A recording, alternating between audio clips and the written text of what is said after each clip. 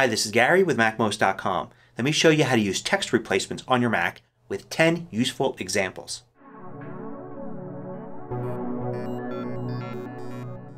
MacMost is supported by more than 500 viewers just like you. Go to MacMost.com slash Patreon. There you could read more about the Patreon campaign, join us, and get exclusive content and course discounts. Text replacements are probably one of the most powerful productivity tools on your Mac and every Mac user should be using them as much as possible. So here's how you get to text replacements. You go to System Preferences and then Keyboard and then click on Text. And here you'll see a list of Replace and With. On the Replace side you've got what you would type.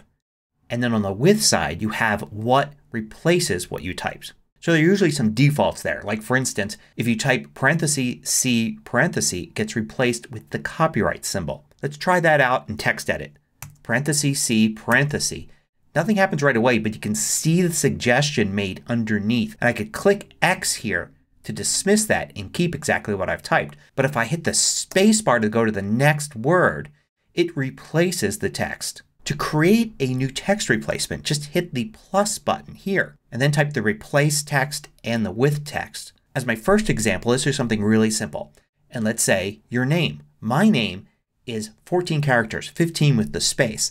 So it could be useful to type that a little more quickly. Now you want to make sure when creating a text replacement that it's not a word that you would normally type. So for instance just having my first name and having that replaced with my full name that wouldn't be a good idea. Or using name that wouldn't be a good idea either because then I would have trouble typing the word name. Instead you can do something simple. My initials work out to be something you wouldn't normally type but other people may have initials that actually make up a two letter word. So sometimes it's useful to actually use something like the letter X at the end because there are really no words that end with X. So I can use GX for instance.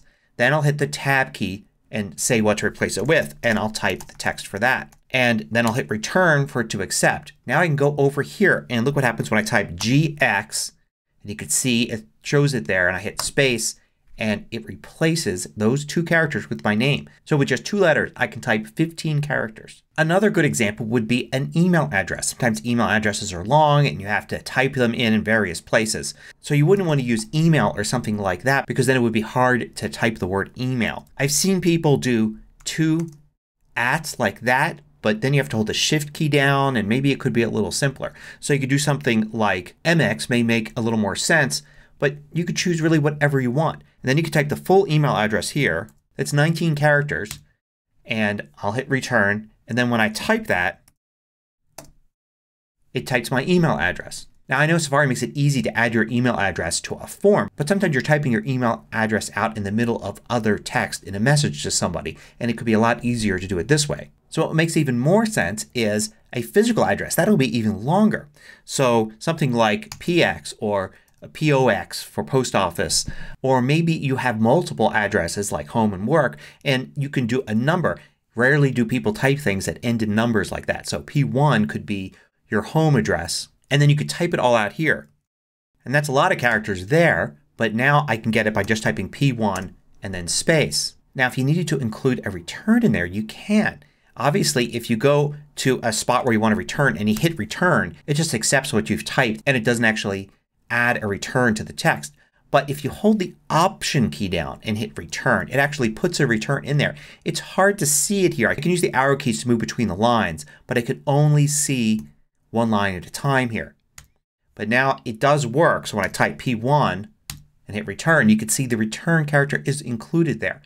What's sometimes easier to do is to actually type out the text in TextEdit or some other app like this, select it, copy it, go in here and paste it in.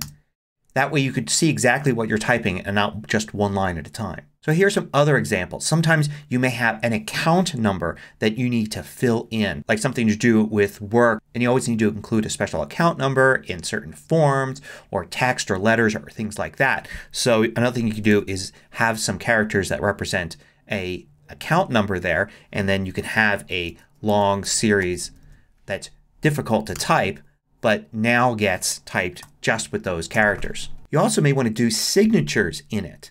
So something like maybe sig1 or sigwork and have that then type out something that you would use to sign something. Like for instance, and maybe I have lots of these for different situations. So I can copy this and paste it into here and now when I type this it adds it in there. Now why would you need that in Mail? Because the Mail app allows you to choose different signatures.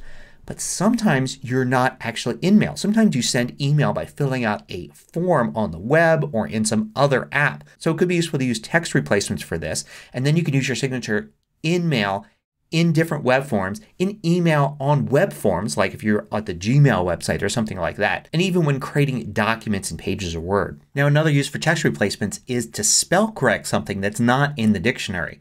So it could be something that you normally mistype. For instance, you could add a misspelling of weird and put the correct spelling in there. And that way it automatically corrects the mistake that you might make all the time. But most of those are going to be caught by autocorrect and spell check anyway. But if it's a first or last name for instance, then it can help you avoid that in the future. Now so far all my examples have been pretty short but you can have very long things in text replacements. So for instance you can have an entire sentence or two that you can easily insert into emails, messages, letters, and things like that. For instance if you have to refer people to say company customer support uh, you could do that with a few sentences and have a text replacement to type it easily. So here I have a whole sentence that is replaced by just typing support 1. Notice that more things besides the spacebar trigger the replacements. So for instance I can hit return and it will type the entire thing. I could also hit period and it will do it. In this case I probably should have left the period off of the end of this so that I wouldn't have two periods. Other punctuation works as well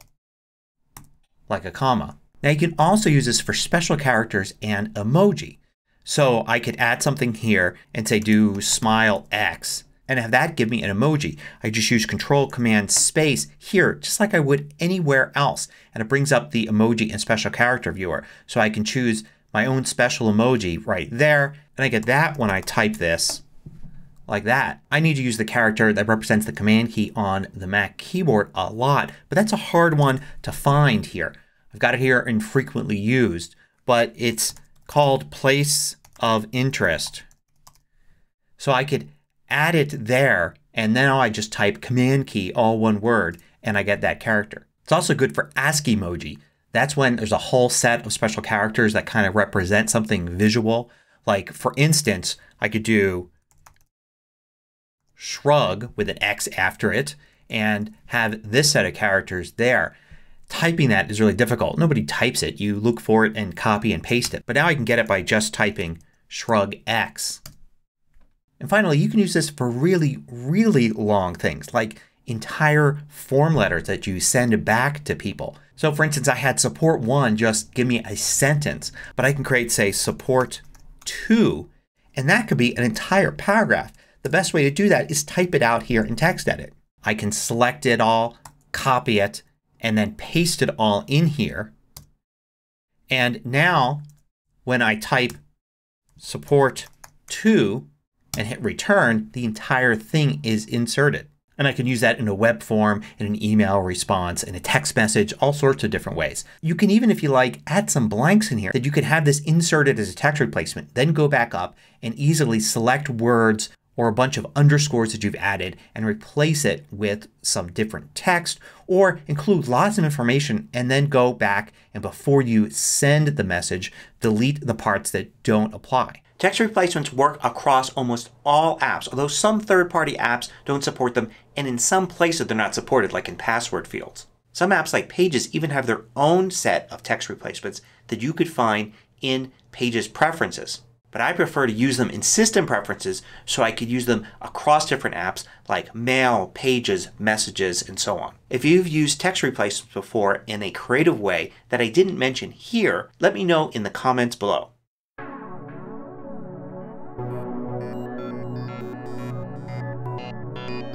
I publish new tutorials every weekday. Hit the subscribe button so you don't miss out. Then hit the little bell icon to get notifications for each new tutorial.